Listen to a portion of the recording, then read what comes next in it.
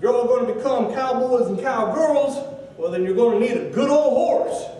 But you know, the funny thing about horses is they're kind of wild. They run around and they kind of act crazy sometimes.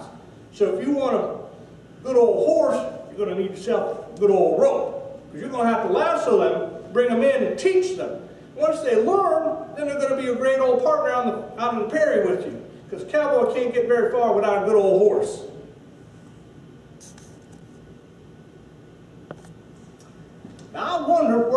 able to find a horse. Do any of you know where I could look and find a horse?